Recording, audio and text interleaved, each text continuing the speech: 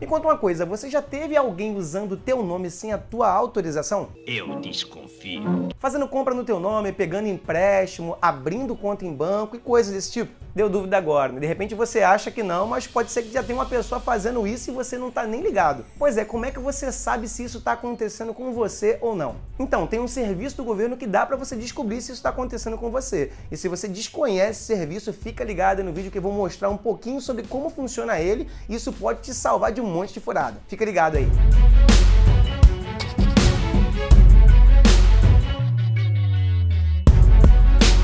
Fala galera, Diego aqui na área para poder trazer uma dica de segurança para você hoje, né? Dica de segurança para você saber se tem alguém passando a perna em você ou não. Bom, quem já foi enganado alguma vez sabe exatamente do que eu tô falando, né? Muito ruim o sentimento que você tem quando alguém dá um golpe em você, né? Quando alguém te passa para trás, né? Você fica aquela sensação é, de impotência, né? não pode fazer nada, fica com aquela raiva no coração, né? Eu sei muito bem o que é passar por isso. Tem gente que passou por isso uma vez e está até hoje colhendo frutos, né? De repente até por anos, é colhendo resultados de uma situação como essa. E para ficar ligado no que está acontecendo com o teu nome, o governo tem uma parada muito interessante aí que pode te ajudar. Bom, o nome do serviço é Registrato e ele é um serviço que é oferecido pelo Banco Central. Bom, com ele você consegue descobrir várias coisas que estão estão acontecendo com seu nome, né? Abertura de conta, empréstimo, chave Pix e um monte de outras coisas, tudo dá para saber através desse serviço. Bom, mas para poder usar esse serviço você precisa de uma conta gov.br. Bom, e se você não sabe que conta é essa, né? Isso é um serviço que o governo criou há alguns anos, onde você consegue ter acesso a vários serviços, várias funcionalidades que podem te ajudar. Eu fiz um vídeo aqui no canal e vai aparecer aqui embaixo na descrição se você não conhece esse serviço. Né? Nesse vídeo eu mostro exatamente como criar uma conta gov.br, passo a passo, para você conseguir criar essa conta e ter acesso a serviços como esse aí do registrado. Né? Então termina de assistir esse vídeo aqui se você não tem a conta e quando você terminar, você entender como funciona o registrado, aí você dá uma olhada aqui embaixo na descrição para você acessar esse vídeo e criar a sua conta GovBR e poder usar o registrado. E tem bastante coisa lá no GovBR, tem assinatura digital eletrônica gratuita, é, tem acesso a carteira de habilitação digital, documentos, enfim, tem várias paradas interessantes. Depois dá uma olhada lá. Bom, eu vou mostrar para vocês aqui acessando pelo computador, mas dá para você ter acesso também pelo celular. É porque pelo computador você consegue ter uma visualização um pouco melhor, mas se você tem o celular somente, você consegue ter acesso também, beleza? Bom, galera, tá aí é, a URL aqui em cima, né? registrato.bcb.gov.br barra registrato. Esse é o link, vai estar tá aqui embaixo na descrição para vocês acessarem. Vamos entrar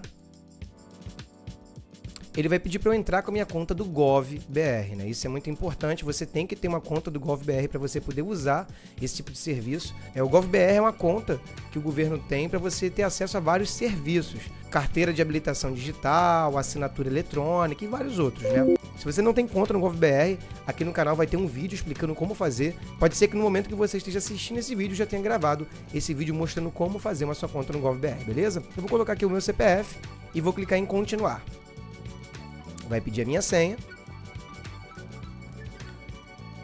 Bom, agora você tem que ir lá no seu aplicativo do gov.br para você poder gerar um código de acesso. Então você tem que ter o aplicativo instalado no seu celular para poder gerar esse código. Estou aqui no meu celular, vou abrir o aplicativo do gov.br e vou na opção gerar código de acesso. Apareceu o código de acesso 273474 e eu vou digitar lá no computador.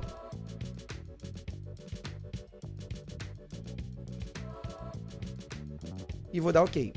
E aqui ele fala tudo que vai ser necessário para poder usar esse serviço, né?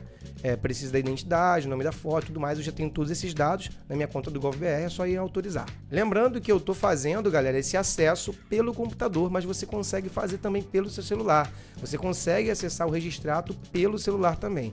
É porque esse serviço especificamente, no celular ele não fica muito bom, né? Mas dá para você visualizar, você consegue tirar relatórios tudo mais.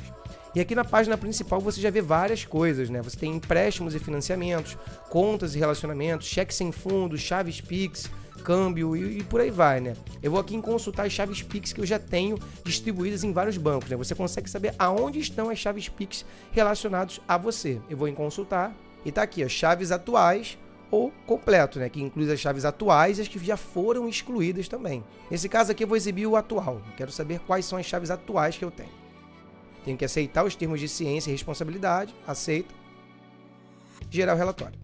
E tá aqui, galera, todas as chaves Pix que eu tenho de todos os bancos que eu uso, né? Tem o Banco Inter, tem esse QI Sociedade que é, é a minha conta na Inco, o Banco C6 Bank, Itaú, Bradesco, Nubank, e tá aí todas as chaves, né? Aqui no lado esquerdo tá as chaves exatamente como elas são, os bancos e os dados das contas bancárias, né? Isso é muito legal para você saber se não tem gente usando aí sua chave, ou sua conta ou tentando usar alguns dados seus. Vamos voltar. Vamos agora em contas e relacionamentos. Aqui tá os relatórios que eu já gerei anteriormente. Eu vou gerar um novo relatório, né? Aceito os termos. Gerar relatório. E tá aí todas as instituições que eu tenho conta aberta. Isso é muito importante. Caramba, Diego, você tem conta pra caramba? Tenho, né? Esses bancos digitais, né, que a gente acaba abrindo conta e tudo mais, querendo ou não, é um banco, né? Então você tem aí conta em vários, né? Inclusive lá embaixo tem PayPal, né, que é um que era uma conta digital, é uma das primeiras que teve aí no mercado, né, internacional. É, e eu tenho conta nele também. Então tá aí bem interessante as instituições e a data que você abriu essas contas. Voltando aqui na home, eu vou em empréstimos e financiamentos. E tá aqui, ó, você pode usar um período, eu vou executar desde 2023 até a, o mês atual. Aceito os termos e gero o relatório.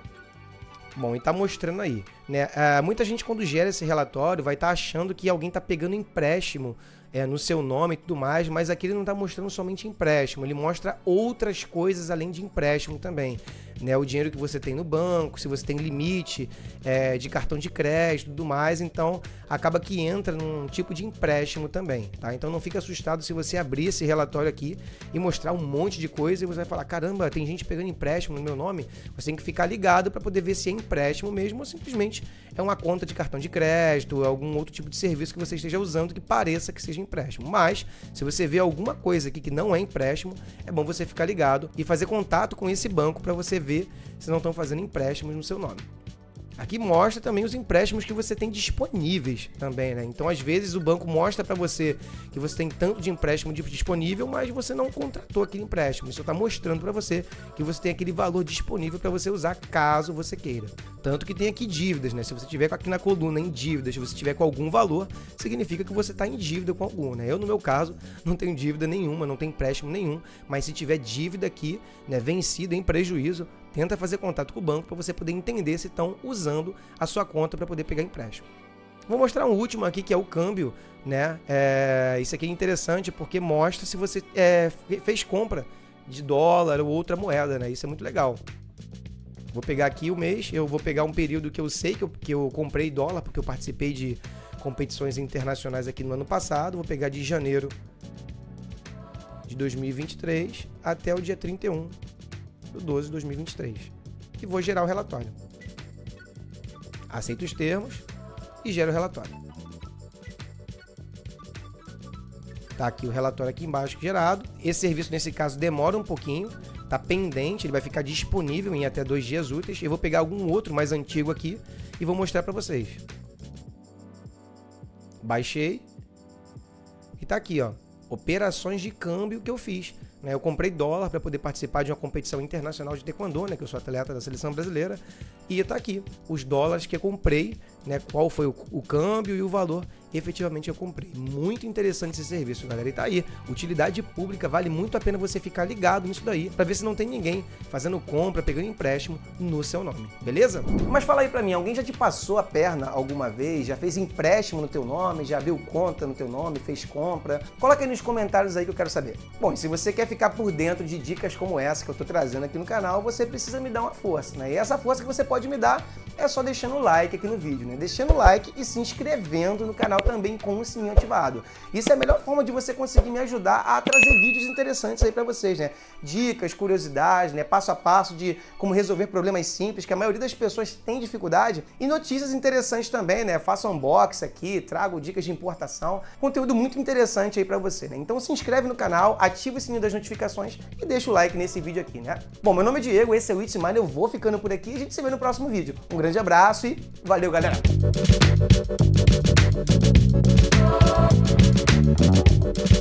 you.